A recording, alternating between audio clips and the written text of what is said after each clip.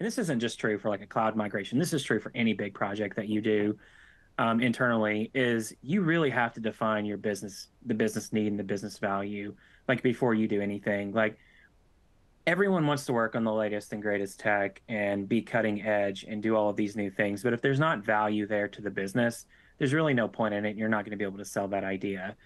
Um, so find a need first of all. Um, find a way to create ROI and the ROI isn't necessarily have to be a monetary value. It could be something else completely entirely where it brings value. But you have to figure out like what is this value that I'm actually bringing through this project to be, in, in order to even be able to get buy-in. Like it can't be well, we need to move to the cloud because everyone else is moving to the cloud.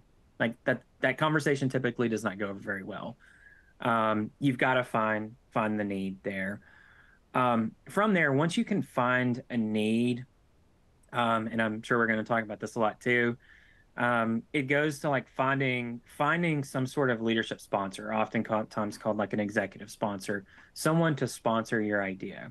So, and if you're a senior leader, maybe you are that person who's who's pushing this forward, but maybe you're coming from an architect or an engineer level, and you're trying to push this. You need some level of leadership sponsorship to come in and and basically stand behind your idea to help bridge the gaps um, that you have maybe between the tech teams and through the business teams and help facilitate that, um, as well as to help you just navigate maybe again some of these more non-technical elements like political landscapes and things like that, um, where you're focused on what do I need to do to build this, whereas other folks are, po- are focusing on just how to navigate this through through the business.